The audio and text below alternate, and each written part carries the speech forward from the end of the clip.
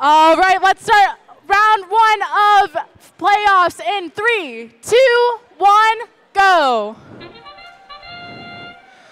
All right, the robots have started the tele the autonomous period. It looks like over on the blue lines they have a middle and a high cube, and 5188 is placing that high cube for the blue alliance. Over on the red alliance they have two high cubes and a middle cube as well.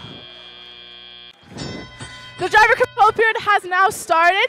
It looks like all the teams are going for game pieces to score on their grids this match. 5010 is going to their human player station when 5188 grabs the cone and 1646 grabs the cube for the Blue Alliance. 1646 is making their way over to the grid as 5188 places their game piece in the top node. 5010 places a cone on that top node for the Red Alliance to score some points. Just a reminder, these teams are trying to make different links made out of three game pieces to earn ranking points and extra points. 5188 is going for that top cone node, while their alliance partners are still grabbing more game pieces from the other human player station. It looks like 461 is grabbing another cone to try and complete their grid over on the Red Alliance side. Right now, the score is 30 to 50 in favor of the Red Alliance. There's 74 seconds left. There's still plenty of points that are able to be made in this match.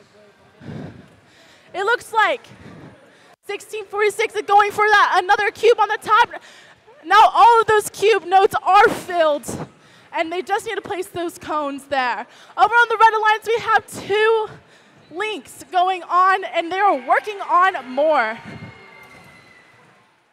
Just a reminder to the audience, for those watching, the lower level is worth two points, middle level is worth three points, and the top level is worth five points for each element scored.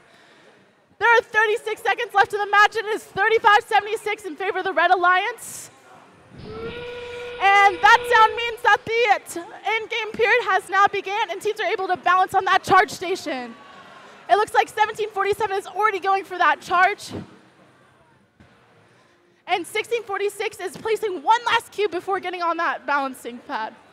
It looks like the Red Alliance is going for the triple dock, and they are successful! And the Blue Alliance is going for that double dock. There are five seconds left. Three, two, one. And that is our playoff number one. That was Alliance number one versus Alliance number eight. Let's take a look at the results in a few minutes.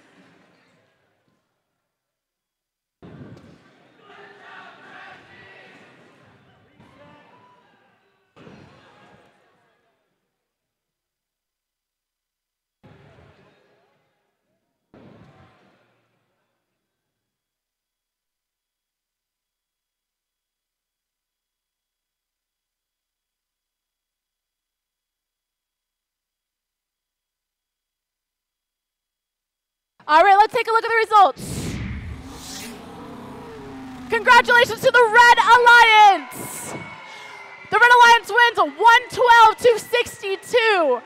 Just a reminder, no one will be eliminated after this match. The Red Alliance will advance to the upper bracket, round two, match seven, and the Blue Alliance will advance to the lower bracket, round two, match five. They have one more chance to keep in this game.